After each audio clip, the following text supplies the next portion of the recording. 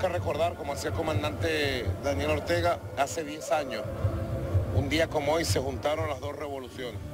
La revolución sandinista, cristiana, socialista, con su comandante, el presidente Daniel Ortega, y la revolución bolivariana con su creador, su comandante supremo, nuestro comandante Hugo Chávez. Hoy hemos estado recordando mucho ese momento y como en 10 años el ALBA, Alianza Bolivariana para los Pueblos de Nuestra América, ha demostrado que es el camino. El camino es la integración solidaria, la unión para el desarrollo conjunto, común.